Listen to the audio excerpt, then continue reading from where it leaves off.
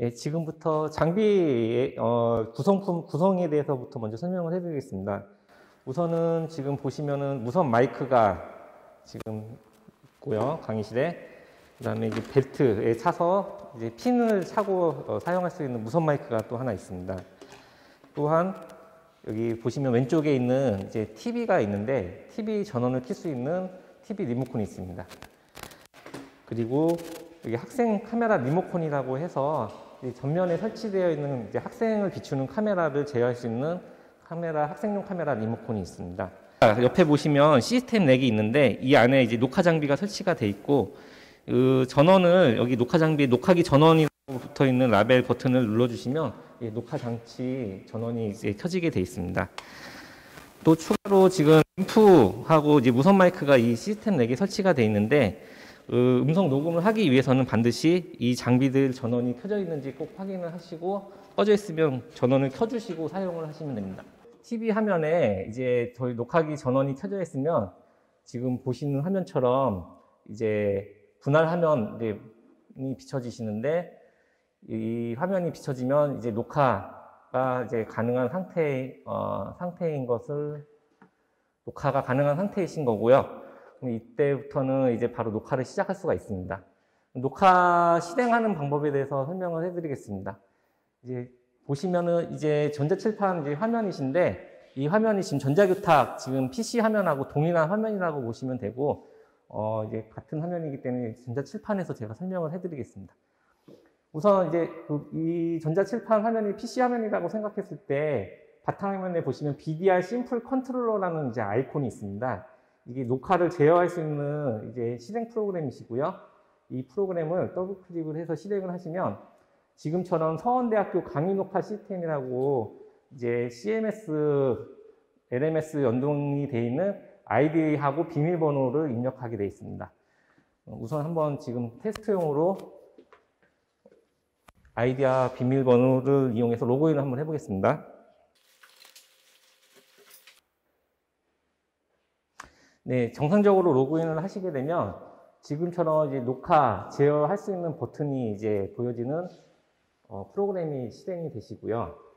어, 녹화하시기 전에 먼저 확인하실 거는 강의 모드를 선택을 하셔야 되는데 오른쪽에 보시면 제어라는 버튼을 이제 클릭을 하시게 되면 이제 강의 모드를 선택할 수 있는 화면이 비춰집니다. 여기서 원하시는 이제 강의 모드를 선택을 하시면 되는데 첫 번째는 교환. 교환을 선택을 하시게 되면 어, 이제 교환만 이제 녹화가 되시는 거고, 강사 카메라를 선택을 하시게 되면, 저 전면에 있는 추적 카메라를 이용해서 교수님이 이제 수업하시는 모습 자체를 촬영을 해서 녹화를 할 수가 있습니다. 또한 세 번째, 학생 카메라를 선택을 하시게 되면, 이 전면에 설치되어 있는 학생 카메라가 지금 녹화가 되는 거고요. 이제 학생들은, 학생 카메라는 리모컨을 이용해서 원하는 학생을 비추고 녹화를 하시면 됩니다. 그리고 마지막 교안 플러스 강사 PIP라고 되어 있는 preset을 선택을 하시게 되면 이제 교안 PC 화면에 이제 띄우는 파워포인트 교환을 교환과 함께 교수님의 모습이 이제 함께 비춰지는 합성된 화면으로 녹화가 가능하시니까 이제 기본 세팅은 보통 이제 교안 플러스 강사 PIP로 놓고 촬영하시면 전자칠판에서 판사하시는 모습이 그대로 학생들한테 이제 보여줄 수가 있고 교수님 모습도 함께 이제 볼 수가 있기 때문에 이 교환 플러스 강사 PIP 화면을 선택을 해놓고 이제 강의를 하시는 것을 좀 추천을 해드립니다. 근데 혹시라도 이제 판서, 화이트보드나 이런 판서 화면, 판사 하시는 걸 직접 촬영을 하시려면 두 번째 강사 카메라 프리셋을 선택을 해놓고 이제 녹화를 하시면 되고요. 그리고 이제 강의를 하시기 전에 이제 한 가지 당부를 드리고 싶은 거는 여기 밑에 preset 화면 아래 오디오 제어라고 하는 버튼이 보여지시는데 이 버튼을 클릭을 하게 되면 마이크 소리 테스트를 할 수가 있습니다. 예를 들어 지금 무선 마이크를 한번 테스트를 해보겠습니다. 이제 무선 마이크 전원을 키시고 연결이 돼 정상적으로 되면은 아, 아, 마이크 테스트. 지금 스피커 소리와 함께 여기 오디오 제어라는 부분에 이제 level meter가 오르고 내리고 하는 게 보여지시는데 이렇게 이 레벨이 올라가야지만 정상적으로 녹화가 되기 때문에 어, 강의하시기 전에 꼭 한번 어, 이제 오디오가 잘 들어가는지 체크를 하시고 녹화를 하시는 것을 권해드리고 있습니다. 그럼 이제 녹화하는 법에 대해서 설명을 해드리면 여기 보시면은 왼쪽에 이제 동그란 녹화 버튼이 보여지시는데 이 버튼을 클릭을 해주시고 강의 제목을 이제 입력을 해주십니다. 입력을 하고 이제 확인을 누르시면 이제 녹화가 시작이 되고 어, 지금과 같이 화면 버튼에 이제 어, 녹화 중인 시간이 표시가 됩니다. 그리고 이제 녹화 중에 잠시 이제 쉬는 시간을 갖거나 이제 잠깐 이제 뭐 자료 준비 때문에 잠깐 정지를 하고 싶으시면 여기 녹화 버튼 아래에 보시면 일시정지 버튼이 있어서 이 버튼 누르시면 잠깐 이제 어, 녹화가 일시정지가 되고 다시 한번 눌러주시면 녹화가 재개가 됩니다. 강의 녹화가 다 끝난 다음에는 이 정지 버튼을 눌러서 정지를 하시면 되고 근데 혹시라도 강의 중에라도 강의 모드를 변경할 수가 있기 때문에 아까 저희가 제가 설명해 드렸던 프리셋 버튼을 눌러서 강의 모드를 다시 이제 설정을 바꿀 수가 있기 때문에 중간 중간에라도 혹시라도 이제 화면 전환을 하고 싶으시면 여기서 프리셋을 클릭을 해서 이제 선택을 해주시면 이 바뀐 강의 모드가 그대로 촬영이 됩니다. 녹화가 끝난 다음에는 정지 버튼 눌러주시면 되고 그러면 이제 녹화가 다 마무리가 되신 겁니다. 어, 그리고 지금 이제 제가 이제 저희 TV 화면에 있는 이제 분할 화면이 있는데 이 화면에 대해서 잠깐 설명을 해드리겠습니다. 지금 저희 그 왼쪽에 있는 TV 화면을 잠깐 칠판으로 지금 화면을 띄운 상태시고요. 여기 보시면은 이제 4개 화면이 보여지시고 오른쪽에 1개 화면이 보여지십니다. 이 왼쪽에 있는 4개 화면은 현재 저희 녹화기로 들어오고 있는 입력 소스 화면이시고요. 채널 2번에는 현재 지금 PC 화면이 입력이 들어오고 있고 채널 3번에는 지금 이제 교수님을 촬영하는 추적 카메라 어, 화면이 지금 들어오고 있습니다. 그리고 네 번째는 지금 이제 학생을 비추는 학생용 카메라 화면이 지금 들어오고 있습니다. 어, 그래서 이제 이렇게 입력이 다 들어오는 거 확인을 하셔야지 이제, 어, 이제 그 화면이 녹화가 되시는 거고요. 이 중에 하나라도 화면이 안 들어오면은 녹화에 문제가 생길 수가 있으니 그럴 때는 이제, 어, 관리자분께 저기 연락을 주셔서 문제 해결을 요청해 주시기 바랍니다. 그리고 오른쪽에 있는 이제 화면은 지금 이제 녹화가 되고 있는 화면을 이제 보여드리고 있고요. 그 다음에 보시면 여기 오디오라고 해서 레벨이 올라가는데 아까 이제 마이크를 말했을 때 이 레벨이 올라가야지 녹화가 되기 때문에 이 화면에서도 지금 이제 음성이 들어가고 있는지 없는지 확인을 하실 수가 있습니다.